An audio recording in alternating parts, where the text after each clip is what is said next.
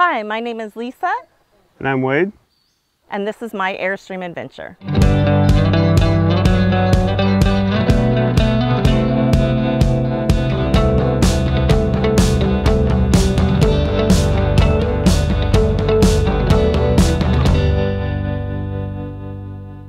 So we had the opportunity to take out a 25 foot flying cloud and it has been a fabulous experience.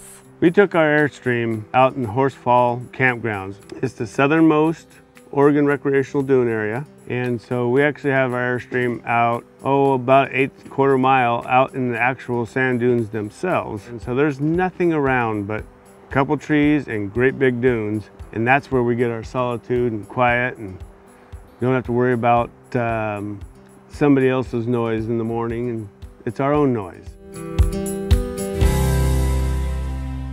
So we've been going to dunes for 10 to 12 years. We always take our kids uh, and more often than not we'll take at least one other family with us and sometimes it gets up to four, five, and six families that's one of the things we love is that we started out being really inclusive, trying to get people into the Oregon dunes and see what they're really all about. We take the toys out and whether it's being on the quad and or watching our son on the dirt bike or now that we've graduated to a side-by-side -side, because yes, we've gotten a little bit older, but it's still an adventure and so much fun.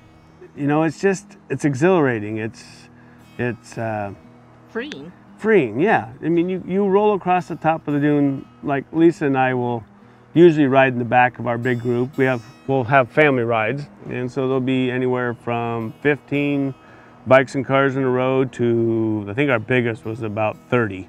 That's my big thing, is that there's just so much to do. You just can't ever get enough. You come back and you're dripping in sweat and tired, and an hour later you're ready to go back out. It's time to go. Is it time to go? Should we all go again? and that's what I like. It's a uh, the opportunity to, to just be free and not live by some big constraints or you know what's popular or not popular. Just go be you. Let your kids be them. And we've been doing this a long time. We started when our kids were about two. We started out in tents and then gradually moved into trailers and this time we were lucky enough to bring an Airstream.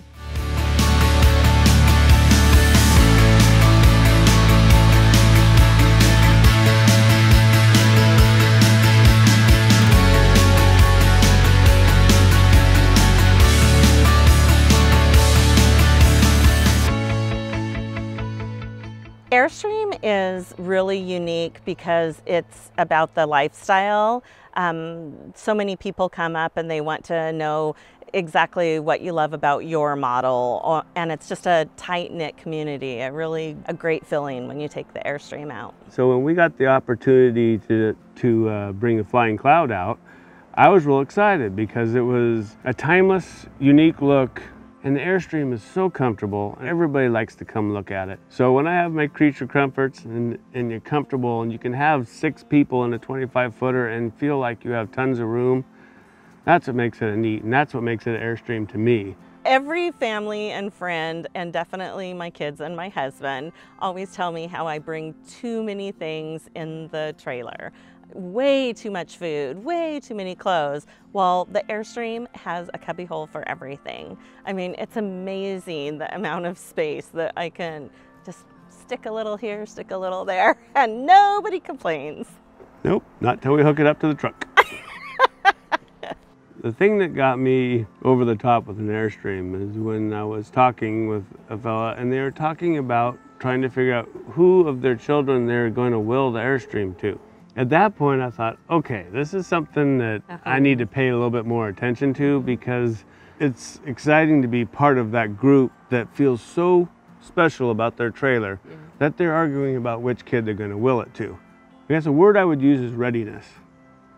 So when you do the spur of the moment Friday lunch phone call with your significant other that you just want to get away, the Airstream is so well built thought out, planned out, that its readiness is instant.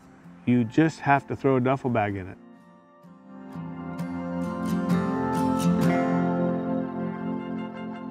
So the, the adventure part of me is going places, doing things that I like that create a story that is um, not every day.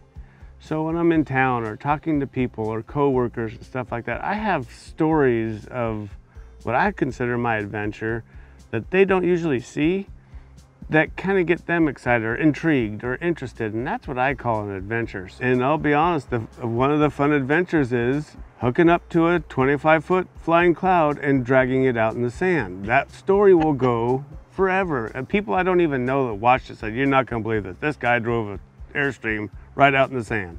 And that's the kind of stuff I like. That's what I call adventure. Creating memories for not only myself and my family, but for other people. But it is an adventure and it's a story, and that's what I like about it. Is I'm creating things for other people, and, and of course I'm enjoying it as well. And for us, it's not all about the adventure. For us, it really is about making memories with our friends and our and our kiddos.